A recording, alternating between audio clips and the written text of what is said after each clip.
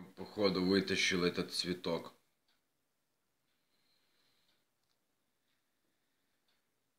Чай, походу. И цветок вот такой. Еще прикольный такой тяжеленький цветочек.